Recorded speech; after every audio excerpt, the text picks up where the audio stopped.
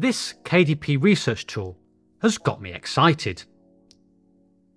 And that's unusual because I've been publishing books since 2013 and low content books since 2018. Those are those things like logbooks, colouring books, activity books, etc.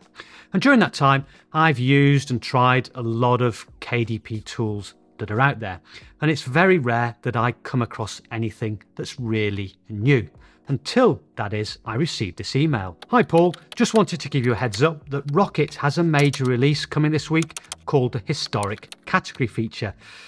Now, I've got to admit, historic category feature didn't really give me that buzz. And so I actually put off having a look at what this feature was, which was a big mistake because this has become my new KDP niche research tool and we need to have a closer look at it. And what is this tool in question? Well, it's Publisher Rocket. Now, this has been around for a while, and in fact, I bought Publisher Rocket back in 2013. And this, as well as Helium 10, have been my two keyword research tools, the two main tools that I use. However, they've updated this feature here, which is the category search. Now, with this tool, it's been very useful for finding those categories in which to list your books. You see, normally on KDP, you have this list you've got to go through, and it can be a real pain trying to find two categories that are relevant or appropriate to your book. However, a tool like this can speed up the process. And we can see here, we can just have a look at all the different categories within a broad overall niche, in this case, children's books. And so from this, we can find a couple of categories in which to list our book, or more categories if you do decide you want to publish in more than just those two basic categories. However, things have changed quite significantly here. And when I first had a look at this tool, I just entered colouring to test things out. And we've got all our lists of categories here, which you would expect. Then we've got our two columns here, and this gives us the number of books you need to sell per day to get in that number one position, that number one ranking in that particular category. And this column here to get in the top 10. Now, why would you want to get in that top position for a particular category? Well, there's two reasons. One is you can get that lovely orange bestsellers badge, and this gives your book that social proof. So if customers see a book with that orange badge, they do tend to click on it, and so you can possibly make uh, more sales with it. The other thing is, if you do rank high in a particular category, it does give your book a bit of extra push up the rankings overall on Amazon. But this is where things have changed. First of all, we've got this column here, which is large publisher percentage. And this is the percentage of books in the category that are from significantly sized publishers. So, for us independent publishers, we want this figure to be as low as possible because those large publishers have the big marketing budgets and so they can promote their books and give them a better chance of ranking on Amazon and getting those sales. So the lower this number, the better. Then we have these two columns here. The first one is insights. So if we click on this here, it gives us that information that we've just seen in this top row, but it gives us this other information, the average age of books within particular category that are making significant sales. The lower this number, the better. It means there's a decent number of younger books in that particular category. So again, if we're just about to publish a book, it means we've got a slightly better chance of getting our book in that particular category or ranked highly in that particular category. Then you've got this graph of sales of the top 30 bestsellers. And I found this useful just to see if there's any particular variations throughout a year in a particular category.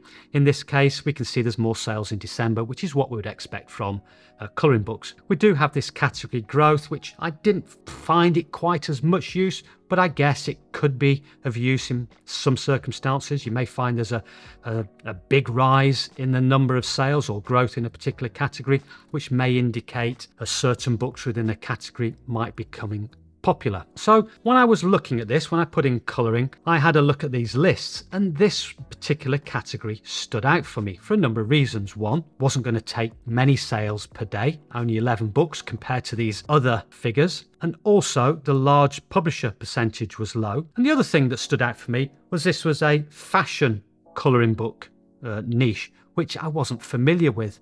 And so I thought, excellent, this has come up with a new idea. And possibly a good chance of getting a book ranked high in the categories.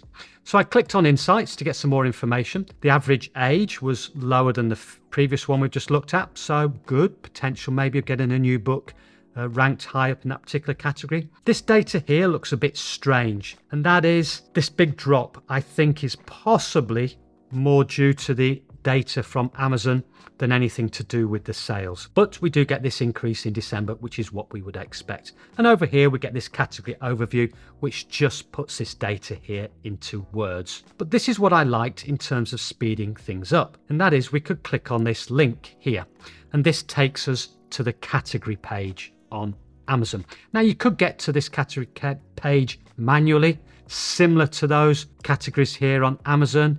You could just go and click through each one, go through each category, can take a bit of time, a bit laborious, but this takes us straight to that particular category. And what I do is when I look at this page is a number of things. One is I look for sub niches within this overall broad niche of fashion colouring books.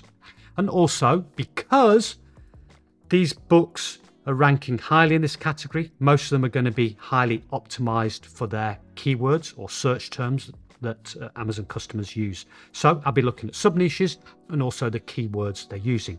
So straight away in these first couple of rows, we can see here we've got fashion colouring book girls, we've got black women fashion colouring book, we've got this one here, dresses colouring book. We can see the bestsellers ranks of these books. Now you may be wondering why I've ignored this book here. Well, it does scream to me potential issues with trademarks, so I would ignore that completely. So we've gone from broad niche down to some sub niche ideas and some potential keywords. So now we can do two potential things. First thing is that we can go over to Amazon and put in one of these keyword or sub niche search terms, and that is fashion colouring book. And what I'm looking for are these keywords here or search terms here. Because if I see a lot of these, I know that there's a lot of people searching for these types of books. Amazon is telling us what people are searching for, and customers tend to click on these as well. So I'd put all these down in a spreadsheet. I've also got a plugin installed called AMZ Suggestion Expander, which is also giving us these other search terms that customers are searching for as well. And you can see some of these are those um, sub niches or keywords that we've just looked at. And so straight away, in a matter of minutes, we've gone from our broad niche fashion colouring book, down to those sub niches, down to those baskets of keywords we can now use to optimize our books to hopefully give them a better chance of being found on Amazon. And those are the first two steps I always take when creating books on Amazon niche research, keyword research, and then I go on to to creating the books. So this really speeds up the process. Now I did say there was two things we can do. The other thing is if we're in Publisher Rocket, we may as well take advantage of its keyword research tool. So if we go to home, go to keyword research, put in fashion colouring book, hit go get get 'em rocket, we can see we've got this list here of keywords related to that main search term. And again, we've got all these useful suggestions. But the beauty of Publisher Rocket, similar to Helium 10, is we get this column here that we can't get by doing free keyword research, and that is the estimated number of searches on Amazon per month for a particular search term. And this is very useful. And in fact, Publisher Rocket helps us even more by giving us this competitive score, which is basically a ratio of the number of Amazon searches per month over the competition. And so the lower the number, the better. And straight away, you can see we've got these here. And what I would do if I was thinking about creating books in this particular niche, I would probably look at using fashion colouring books for girls as my main keyword, using that as the title of my book, with the idea being that if I can get some sales with this less competitive keyword, my book will then start to rank for that more competitive keyword of fashion colouring book. So to me, this was quite a surprise, and that's why it got me excited because personally, this is a game changer because I can now go from the broad KDP niche research down to those sub niches and collecting those baskets of keywords in a fraction of the time that it used to take. Now, if you're interested in checking out Publisher Rocket, I will leave a link to it down below in the description. If you are new to this publishing game on Amazon, then what I suggest doing next is checking out my book tutorial playlist here, where I run through all the steps of creating, researching, and publishing books on Amazon. Thank you much for your time, it is very much appreciated. Don't forget to hit that subscribe button, and until next time, and goodbye.